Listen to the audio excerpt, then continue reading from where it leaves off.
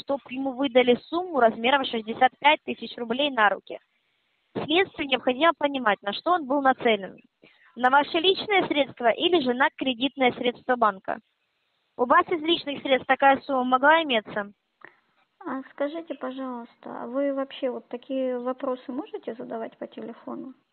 Естественно, согласно 327 статье, я имею право производить дознание в устной форме.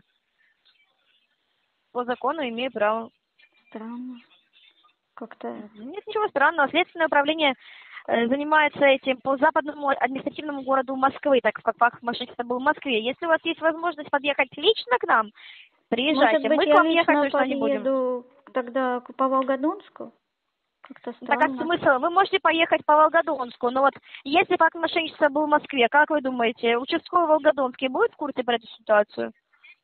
Думаю, Если что вот сейчас- ну, вы ему укажете, думаю, что да, потому что по телефону как-то это очень странно. Нет, тогда вы будете ехать только ко мне. У меня факт мошенничества был в Московском банке.